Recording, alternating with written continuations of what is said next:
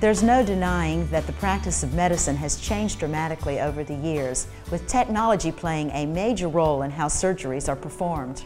Hometown Health sat in on a seminar about computer-assisted joint replacement surgeries with Dr. Donald Perry, part of Florida Hospital Waterman's Joint Replacement Center. The computer, when you're doing a knee, the obviously sometimes there's knees that have a lot of deformity, sometimes they don't have a lot of deformity.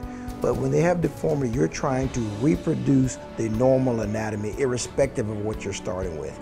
And there are guides to assist you in doing that. So every surgeon has the use of these guides.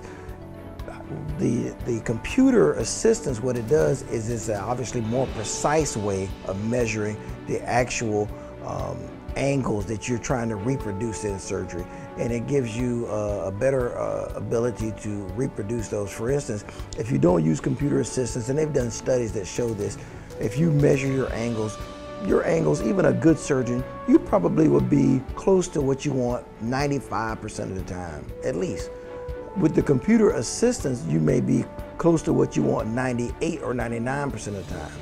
I really think it's very effective, especially for surgeons who don't do a lot of surgery. However, I think that there are many instances that can help even the experienced surgeon. You can do it on everyone. It may not be necessary on everyone, but it can help. The technology is just changing, it's actually better. Um, the, the actually software is better, it's just more predictable.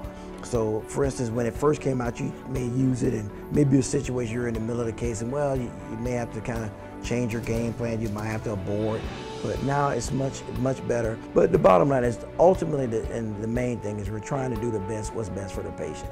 And if it's not going to be some substantially massive increase in cost, and if it can help the patient, then obviously that's what we're trying to do.